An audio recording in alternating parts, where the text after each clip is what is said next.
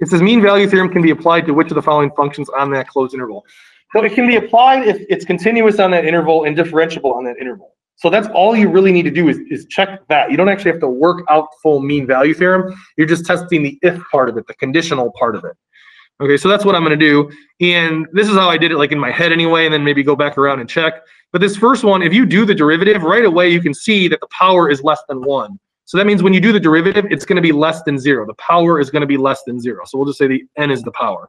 If it's less than 0, that means it's on the bottom. If it's on the bottom, you can divide by 0. So is 0 in this domain of the interval? It is, so it cannot be a. Because if you actually did the derivative, I'll write it out really quick, you're going to get 2 thirds x to the negative 1 third. That means if you plug in 0, you're going to have undefined. Well, you can't be undefined with mean value theorem, so a is not the answer for that. Okay, but you could do that whole thing without even writing anything down. So that's probably the fastest way to do it. This next one, it's a sharp turn. Sharp turns aren't differentiable. It's a sharp turn at x equals 1.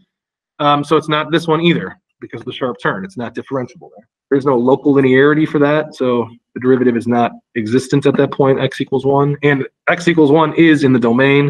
All right, this next one, uh, if you did do the derivative, the bottom of it's just going to be x minus 5 squared. I don't care what the top is, okay? It's just a bunch of stuff.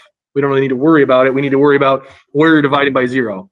Okay, you can't divide by 5 or divide by 0 here if x is equal to 5. You can't do it here either with the derivative. So this, this is meant to be part of the derivative.